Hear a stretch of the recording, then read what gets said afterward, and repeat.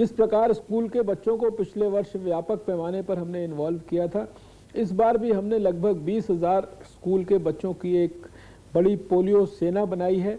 उन पोलियो सैनिक्स की हमने बकायदा ड्यूटी तय की है। उनका जितना सामर्थ्य है, उसके अनुरूप उन्हें हमने ड्यूटीज़ दी हैं। और ये छोटे छोटे स्कूल के बच्चे पोलियो सैनिक के रूप में घर घर जाकर विशेष रूप से इस कार्यक्रम के अंदर सहयोग कर रहे हैं।